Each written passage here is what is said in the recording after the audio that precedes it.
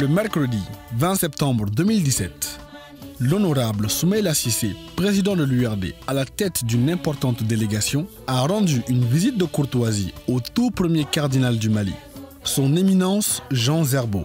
C'était à l'archevêché de Bamako, au quartier du fleuve. L'honorable Soumaïla Sissé dira que cette visite vise à affirmer la fierté ressentie quant à la promotion de son éminence Jean Zerbo. je suis venu d'abord euh, saluer un frère, mais surtout marquer ma fierté.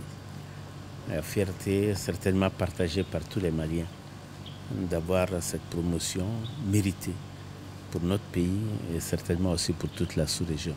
Et je lui ai demandé de nous aider comme des brebis égarées à nous retrouver tous dans le même parc. Je crois que nous en avons besoin aujourd'hui, notre pays va mal. Et nous avons besoin de toutes nos forces positives pour revenir vers la paix.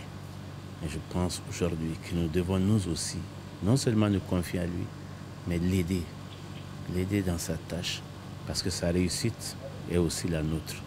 Sa réussite, la réussite de l'ensemble des Maliens, nous devons tous être fiers. Le cardinal Jean Zerbo a exprimé toute sa joie suite à cette visite et a expliqué le rôle des leaders religieux dans notre société. Et il est venu justement avec ses collaborateurs pour me saluer et me féliciter. Été très touché. Donc d'abord la démarche d'un frère et aussi d'un homme politique engagé. Et cela, j'en suis très touché. Et mon souhait justement, c'est qu'ensemble, nous donnons la main pour bâtir ce pays. Je leur donner quelque chose, je leur donner un message, que nous, les leaders religieux, nous avons deux fonctions. Notre rôle d'abord, c'est d'être des guetteurs, des veilleurs. Vous connaissez les sentinelles, les sentinelles qui dit la vérité. Les sentinelles qui veillent, qui dit à celui qui est chargé de gérer le pays, ah, j'ai vu tel indice, tel signe, tel... Ce n'est pas un espion. Il, il, dit, il fait un rapport positif de la situation. Et c'est responsable maintenant de tirer les conséquences. Et s'il s'endort, il met dans son cahier RAS, RAS, et que le malheur arrivait, la responsabilité première, c'est lui, il n'a pas fait son travail.